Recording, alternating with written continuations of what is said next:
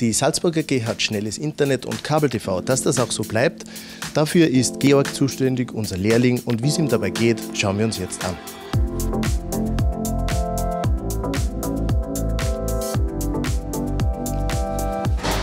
Morgen Georg, Morgen, okay. wie geht's da? Ja, mir geht's super.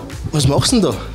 Ich schaue gerade, ob die Signalqualität am Fernseher passt, dass der Fernseher optimal laufen kann. Aha, und wie heißt dein Lehrberuf? Elektronik, Kommunikationselektronik. Äh, wie schaut denn so dein Arbeitsalltag aus? Ja, wir sind viel bei den Kunden unterwegs und in letzter Zeit bauen wir jetzt voll die Netze aus, dass wir ein gutes Internet haben. Und da sind wir natürlich mit unserem Beruf an vorderster Front dabei und wirken voll mit, dass das Internet allweil schneller wird. Wie geht's dir da mit den Arbeitskollegen? Ja, die Arbeitskollegen sind voll nett, mit denen verstehen wir ja voll gut.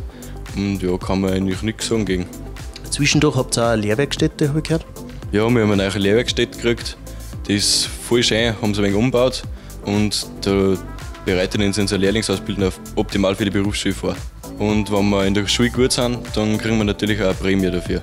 Du, ich, ich will dich gar nicht weiter stören. Äh, ich wünsche dir noch einen schönen Tag und danke dir. Gell? Ciao. Ciao für dich.